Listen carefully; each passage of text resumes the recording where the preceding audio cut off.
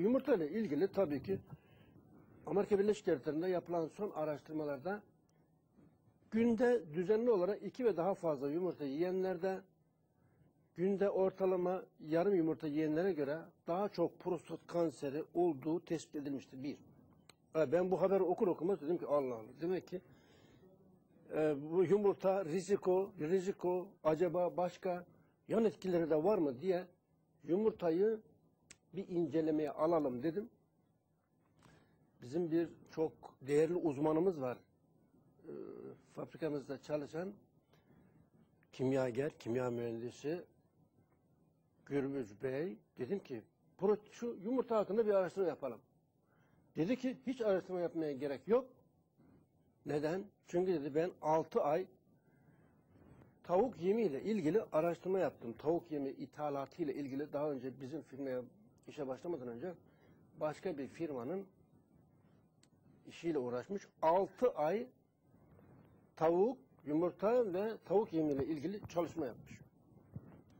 Şimdi bu tavukların yemi eee, ha- şöyle hazırlanıyor. Promix denen bir kilo tavuk yemi Avrupa'dan geliyor. Bu bir ton normal yemle karıştırılarak tavuk yemi elde ediliyor. Avrupa'dan getirilen Promix, Premix pardon, Premix ön karışım demek. Premix Avrupa ülkelerinde Polonya, Fransa, İngiltere, İtalya gibi ülkelerde hazırlanıyor. Türkiye'ye geliyor. Türkiye'de bir kilo Premix bir ton yemle karıştırılarak tavuk yemi elde ediliyor. Ne var bu bir kilo sonra bakarsın telefonla. bir kilo premix içerisinde ne var? Bir kilo premixin içerisinde bir antibiyotik var. Tavuklar hastalanmasın diye. Çünkü bir tane, iki tane, üç tane, beş tane eskiden köyde olduğu gibi tavuklar kümeste kalmıyor. 15-20 tane kümes bizim köydeki kümeste 15-20 tane tavuk olurdu. Bilemedin 25-30 tane tavuk olurdu köyde. Şimdi 50 bin tavuk 50 bin tavuk. Düşünün 50 bin tavuk ne demek?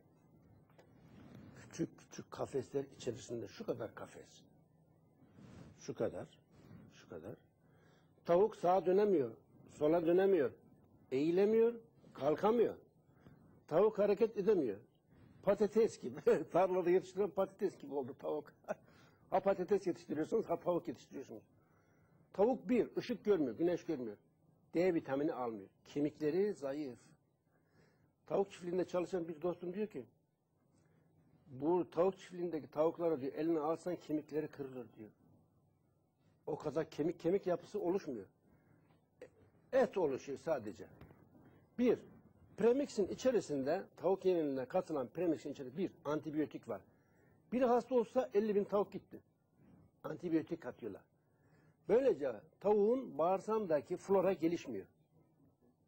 İki, çok yumurta yapsın diye, günde iki defa yumurta yapsın diye tavuğa östrojen, bu yemin içerisinde östrojen hormonu katılıyor. Östrojen. Üç, beta katılıyor. Sarı yumurta. Yani yumurtanın sarısı daha sarı olsun diye. Ve bu yumurtayı premix yani ön karışım hazırlanan yemle beslenen tavukların yumurtasında yüksek oranda östrojen var. Ne olur?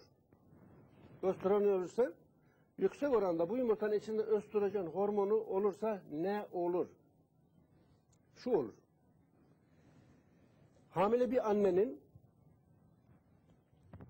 cenini erkekse rahmindeki bebeği cenin erkekse cinsel organında erkeklik organının gelişimi anormallik olur. Bir, Bir telefon bağlantımız. telefon bağlantısı olmadı. Çok kritik bir noktada. Önemli bir şey söylüyorum. Yani ben bunu koptu mu koptu gider olmaz. tamam buyurun siz devam edin. Birincisi hamile kadın bir bayan. Çocuğu erkek çocuk diyelim. Yumurta yiyorsa, östrojen hormonu içeren yumurta yiyorsa çocuğunun cinsel organı, testisleri, penisi gelişmez. İki, anne çocuğuna ilkokuldan 0-12 yaş grubu diyelim.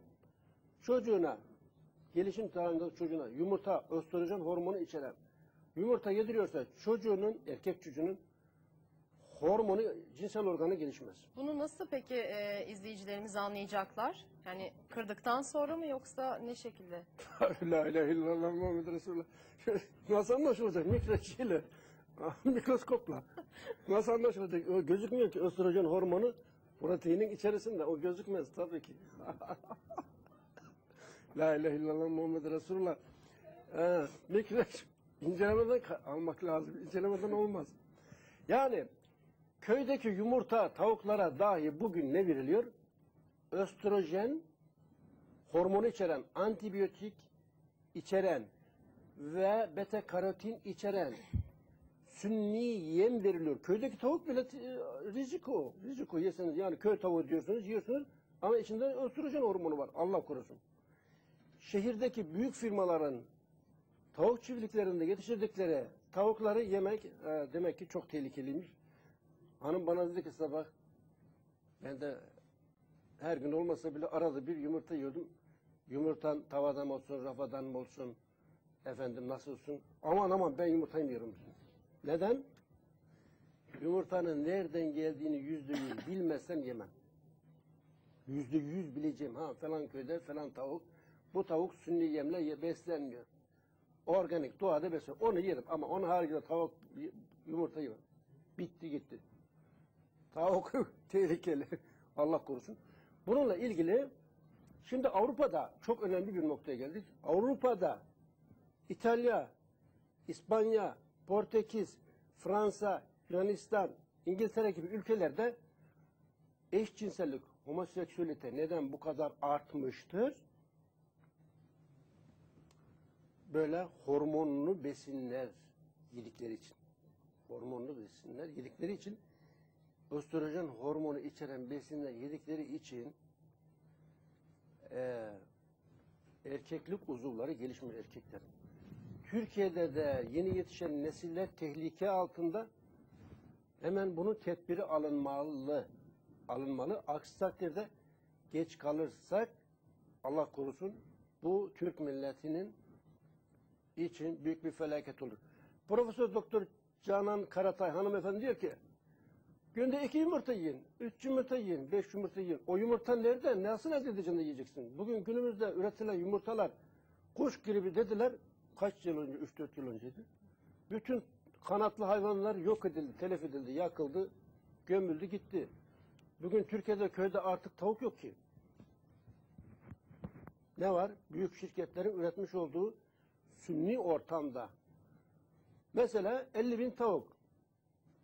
Güneş görmüyor. Karanlık bir ortam, ışıklı bir ortam. Bir de tavukları kandırıyorlar. Nasıl kandırıyorlar? 12 saatte bir yavaş yavaş gün doğmuş, gün batmış gibi güne ikiye bölüyorlar. İki gün tavuk bakıyor akşam kararıyor. Sonra tekrar ışıkları yakıyorlar. Tekrar sabah olmuş gibi.